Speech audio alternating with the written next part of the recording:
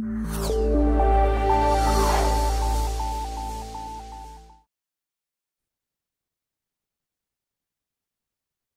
everyone. My name is Corey Dow, and I'm a technical marketing engineer for Aruba Campus Switching. Today, we're going to provide an update on the forwarding info feature. It's new to AOS CX 10.11 for the 8325 and 10,000 series switches. For the agenda, we'll provide an overview, talk about use cases, details, and caveats, and then mention best practices.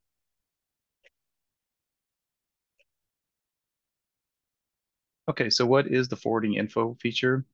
Forwarding info is a feature used to determine the forwarding information of a packet given packet header details and ingress port information. It combines really two features into one, L2 path tracing and L3 ECMP load balance. In case traffic is egressing out a lag or ECMP, this feature provides the actual physical interface. In the case of L2 or L3 lag interfaces, the output is based on the load balance configuration in the system i.e. L2 source and destination, L3 source and destination, and or L4 source and destination. Why is the feature important? It closes a competitive gap, and it also assists in support in it assists support in troubleshooting packet forwarding when there's um, when there are multiple paths to the destination. Which AOS CX platforms are supported? As we mentioned, the 8325 and the 10,000 series platforms are supported, as well as both uh, IPv4 and IPv6 sources and destinations. This slide just simply shows the equivalent commands with other switched vendors.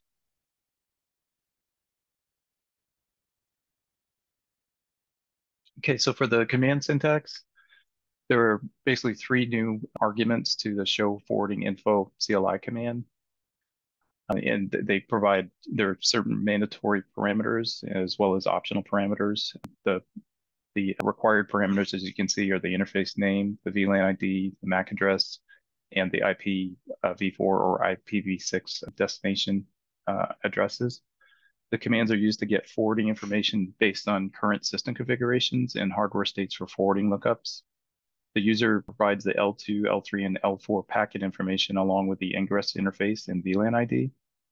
And the destination MAC address is required for L2 forwarding lookups. The destination IP or destination IPv6 is required for route resolution lookups for L3 forwarding and or ECMP. And so these are the default lag hashes that you see there configured in the system for the 8325, both the L3 source and destination for, for both platforms.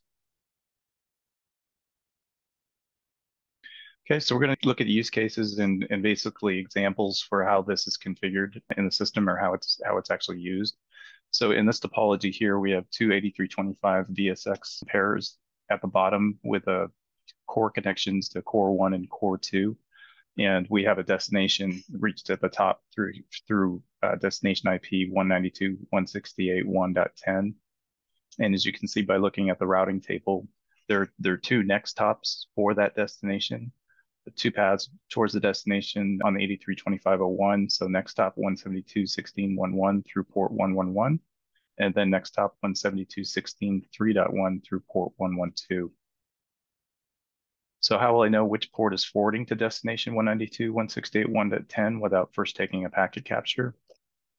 You'd use the show forwarding info IP command. As you can see here, we specify the source IP address, the destination IP address, and then the system finds that uh, egress interface 112 is the egress interface for forwarding to that destination. Okay, and in this next example, we have an L3 lag that connects uh, two 10,000 series switches through lag 1 uh, using route-only ports uh, off of lag 1. And so there's a destination network 192.168.3.0 where the destination is reached through from the 10,001 core switch. And uh, so that's two physical paths towards that destination. Lag one has ports 111 and 112 there, as you can see. So if you want to know which L3 lag port is forwarding to the destination without first taking a packet capture, how would you find out? We issue the show forwarding info IP command again using the source IP and the destination IP address.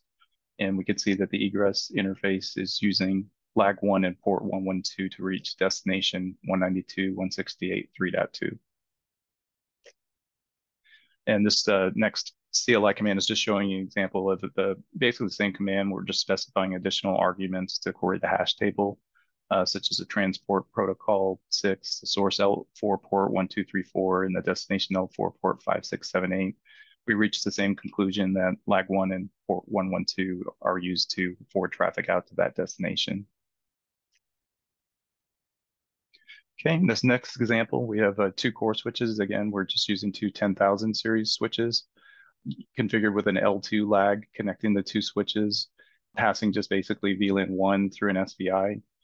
And we've configured the L4 source and destination hash in the lag configuration for lag 1. And we can see that 192.168.1.11 is in the MAC table, reached through lag 1. And again, in the same case, there's two physical ports to that destination and we've set the hash to L4 source and destination. So how do we know which port is forwarding that traffic? We use the show forwarding info MAC ingress interface in this command because it's a it's a layer two it's layer two MACs that we basically want to look at.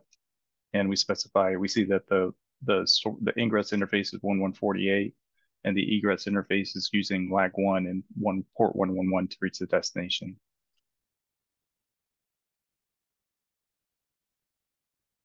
Okay, in this next next example, we have a, a VSX pair with two 8325s connecting via the inter switch link, the ISL over lag 256, and using VLAN 10, in this case, all of the all of the systems or the IP addresses you see there are on V are in VLAN 10.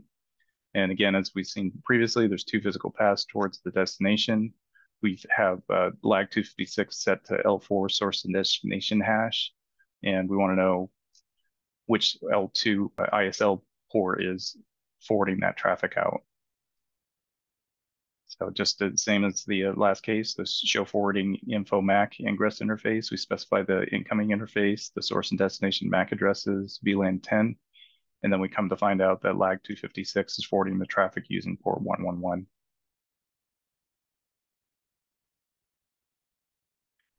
Okay, in this example, we have a ECMP with route-only ports. We have an 8325 connected at the bottom of the topology, and it has two next hops for uh, network 11110, where you see server destination up at the top of the diagram. And so uh, the two next hops are reached through uh, 1010.1 through port 111 and through 112 using a next hop 1011.1 and we want to find out which which ECMP port is forwarding that traffic. We run the show forwarding info IP command again using the source IP 13.1.1.10, the destination IP 11.1.1.10, and we could see that the ECMP interface 111 is being used to forward that traffic out to the destination. And this uh, next example is just a repeat of the last configuration topology. In this case, we're just using IPv6 in the same fashion. You can see we've got two next hops for that destination that you see at the top, the 2001 DB8 12110 IPv6 address. And we have two physical paths, again, going through 111 and 112, and we want to see you know, which ECMP port is forwarding that packet. And we see that in this case, also egress interface ECMP 111 is forwarding that traffic out to that destination. Okay, so for details, these are just uh, feature solution details, uh, limitations, conflicts, or exclusions. As we mentioned, this feature is only available on the 8325 and 10,000 series switches. Sub interfaces are not supported. Only L3 and L4 lag hash modes are supported for forwarding info, the L2 source and destination hash is, is, is not supported um, for use with this feature. Keep in mind that the MAC and routing tables, they're constantly changing. So whenever you use the forwarding info feature command, it's representing a, a snapshot in time for how that packet is being forwarded. That could change at any time. The feature is not applicable for broadcast, multicast, and or unicast, unknown unicast packets. And tunnel interfaces are also not supported.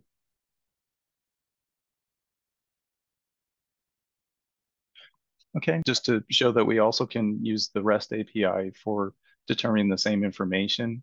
So for 10.11, you want to use the, the REST v1011 system forwarding infos URI. And pay note of that specific URI. Uh, the request body includes all the kind of the same attributes we'd be using from the command line, uh, such as the ingress port, source and destination IP, VLAN, etc. And that the response body, again, same same information that we would be including through the CLI. And so uh, just taking an example from a, a prior slide, we're going to use the REST API to to basically find the same thing. We've we've got 283.25s. We want to find the the path to destination 192.168.1.4, and you'll see the CLI commands or the REST API commands that we use to do so in the next slide. So what do we do first with the REST API? You, you need to issue a call to the login API to to basically get a cookie to be able to use for any of these transactions. And so you can see in this case, we're basically writing the cookie just out to the temp cookie file. And so step two, we're going to issue a post request with the source and destination MAC addresses and ingress port 1125, same as we would have through the CLI. And pay note to the, the identity field there. This is just used to uniquely identify the transaction or the request ID that you're going to use for this request because there could be multiple REST queries outstanding. So you have to give it an ID um, for, for use within the, the feature. And then to see if the system actually has taken that that post and, and whether or not the post is successful, you can just you query the the forwarding infos API, and you can see that that the request ID that we submitted in step two it's, has been completed successfully. So now that, that that URI is there, we can actually query it. So in step four, we query that request ID using the forwarding infos, and then you can see at the end the slash one to identify the request ID. And you can see that we come back with the L2 port hash destination as port 112, the same as what we would have seen through the CLI. And finally, we want to delete that request ID from the system because you, as as I mentioned, you'd have you could have multiple outstanding request IDs, so you want to make sure that that you you clear those when you're when you're complete with your transaction. Okay, that's just an example of how to use the REST API to, to use the forwarding feature. So best practices for configuring this feature. Uh, if you're using VSX lags, you want to configure the L4 hash over the ISL to be able to determine the traffic flow because by default, it's going to be using the L3 source destination hash and you can't get L2 forwarding information using that hash. So you'd need to change that if you wanted to see forwarding decisions over the ISL for layer two traffic. And for for routed ports, for L3 lags and a routed port connections, you want to leave the L3 hash as it is or configure it to L4 hash for the for the best output. Thank you for your time and hope you enjoyed this session.